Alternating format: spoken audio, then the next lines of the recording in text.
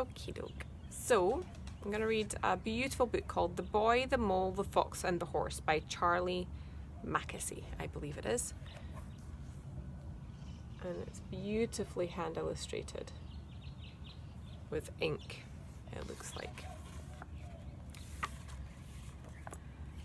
I'm so small, said the mole. Yes, said the boy, but you make a huge difference.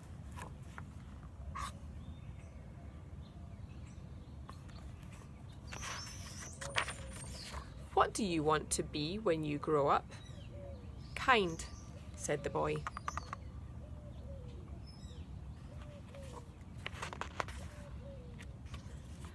What do you think success is?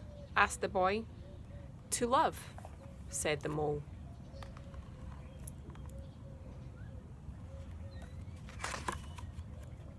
Well, hello.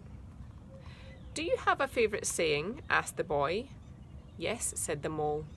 What is it? If at first you don't succeed, have some cake. I see. Does it work? Every time.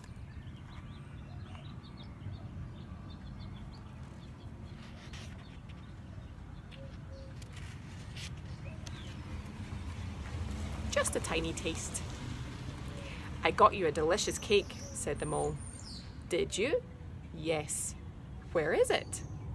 I ate it, said the mole. Oh, but I got you another one. Did you? Where's that one? The same thing seems to have happened.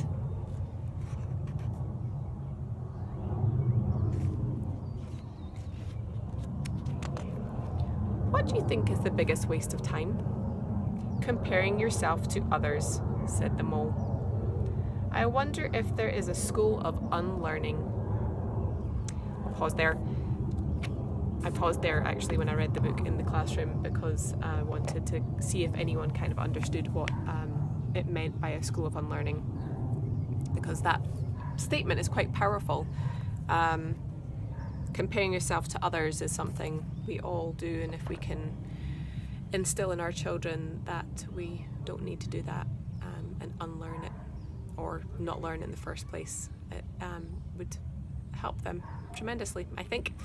Um, so I'm going to leave that there and I'll read another little part of it on another day. I hope you all have a wonderful Tuesday.